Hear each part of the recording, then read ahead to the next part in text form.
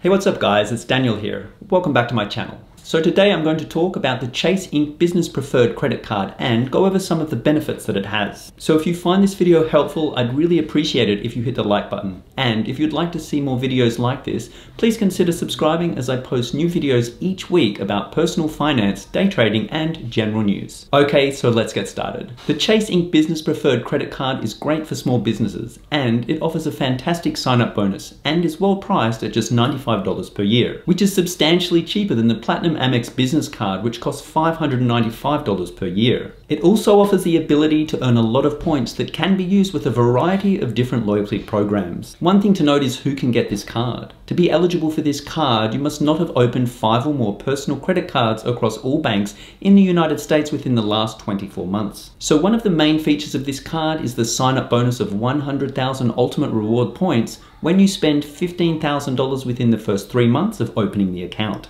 These points are worth $1,000 in cash back, or if you redeem them through Chase Ultimate Rewards, they are worth $1,250. Now, it is possible to receive even more value with these points if you transfer them to one of the many travel partners that are associated with the card, some of which include United Airlines, British Airways, and Hyatt Hotels. One great benefit of the card is that you get unlimited free employee cards, which can help you meet the $15,000 spend amount within the first three months so you can receive the 100,000 Ultimate Reward points points. Now when it comes to traveling, the Ink Business Preferred Credit Card has quite a few useful benefits. To begin with, if you use your Chase card to pay for a trip, you will be covered by trip cancellation and trip interruption insurance. So if your trip is cut short because you become ill or there is extreme weather, you can be reimbursed up to $5,000 per person and up to $10,000 per trip. This includes passenger fares, tours, and hotels. Just note, only prepaid and non-refundable travel expenses will be covered. Another useful benefit of the card is the auto rental collision damage waiver. And to use this benefit, basically when you hire a car from a rental agency,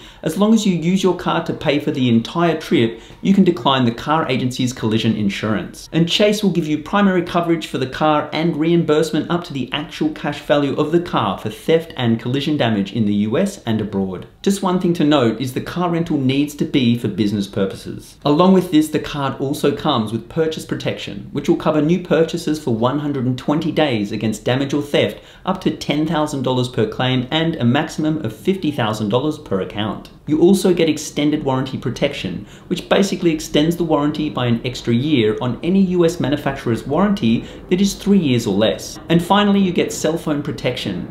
So if you pay for your phone and your employees with your Ink card, you get a maximum of three claims in a 12 month period, with each claim maxing out at $600. This will cover theft or damage of the phone, and each claim has a $100 deductible. So these are the travel and shopping related benefits that come with this card. So now let's look at how many points you can earn by using the card and what they are worth. With the Ink Business Preferred Credit Card, you will earn 3 points per dollar on the following purchases. Travel, shipping purchases, internet, cable and phone services, and finally, any advertising purchases made with social media sites and search engines. So if your business is able to spend $150,000 on purchases over the year in these areas, you can earn up to 450,000 points, which are worth approximately $5,625. Purchases on any other item will receive one point per dollar spent, and if you do reach the $150,000 spend limit within the year, all purchases will be limited to one point per dollar until you renew your card for the following year. If you do renew the card the following year,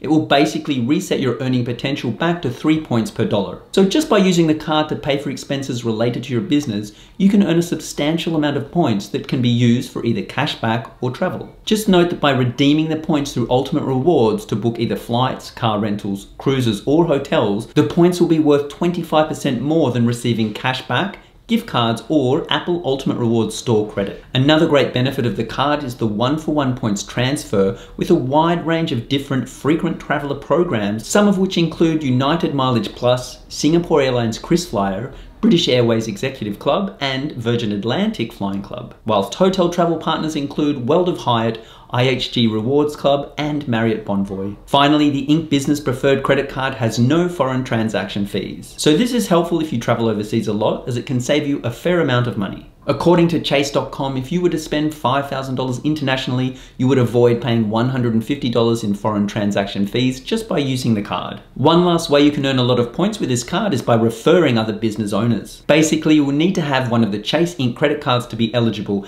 and then if you refer someone that gets approved, you will receive 20,000 points and you can refer a maximum of five people per year, which is 100,000 points. So I think the Ink Business Preferred Credit Card is a great option for most small businesses, as it is relatively cheap at just $95 per year and gives you a fantastic potential for earning points. So that's my review of the Ink Business Preferred Credit Card. If you're interested in learning more about it, I've left a link in the description below. I hope you found this video helpful, and if you have any questions at all, please leave a comment down below and I will get back to you as soon as possible.